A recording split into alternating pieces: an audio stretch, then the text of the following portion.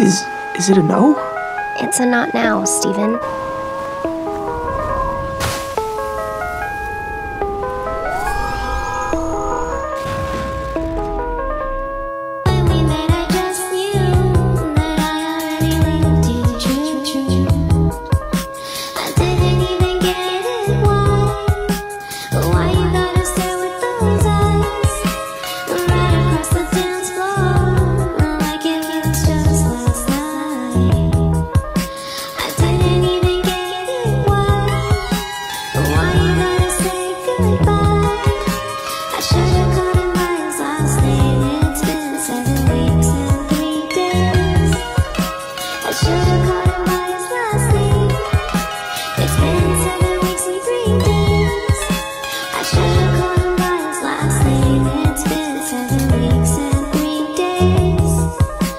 I should've known